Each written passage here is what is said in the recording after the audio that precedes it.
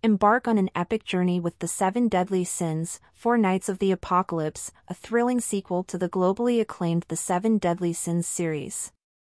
Set years after the disbanding of Britannia's most infamous Holy Knights, The Seven Deadly Sins, the story unfolds around Percival, a young boy living a simple life with his grandfather on God's finger, a remote haven high above the clouds.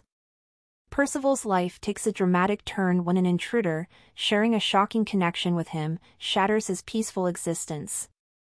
With nothing left but to chase down the one who took everything from him, Percival sets out on his own.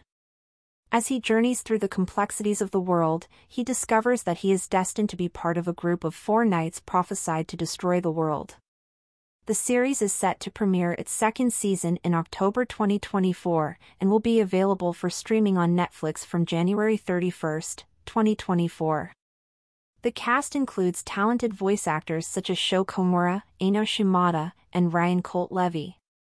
Produced by TMS Entertainment and animated by Telecom Animation Film, the series is directed by Maki Odaira, with scripts written by Shigeru Murakoshi. The series promises a captivating blend of animation, action, and adventure, bringing together a new generation of adventurers to change the world. Will they bring good or destruction? Only time will tell.